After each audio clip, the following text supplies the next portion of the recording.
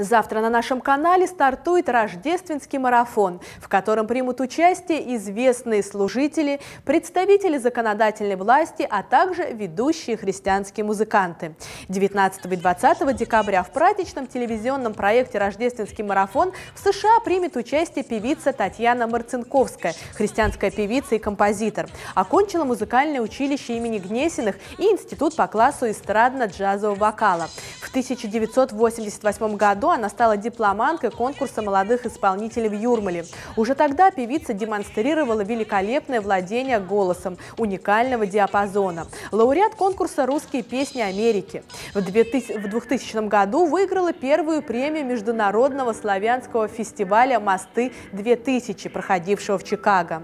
На творческом счету исполнительницы три сольных альбома и работа со многими американскими и русскими авторами. Известный альбом Татьяны Марцинковской «Научи меня любить» «Teach me how to love», записанный в Нью-Йорке. Наблюдать за ходом съемок в нью-йоркской студии смогут зрители, которые разместятся в специальном зале, рассчитанном более чем на 200 человек. Запись рождественских телепрограмм начнется в 18 часов по местному времени. Прием гостей с 17 часов.